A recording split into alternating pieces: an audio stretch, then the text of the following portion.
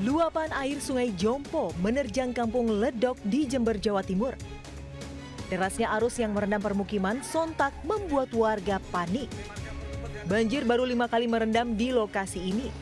Warga menduga banjir dipicu pembangunan di hulu sungai karena sebelumnya mereka tidak pernah kebanjiran. Mereka pun meminta pemerintah setempat segera mencari solusi.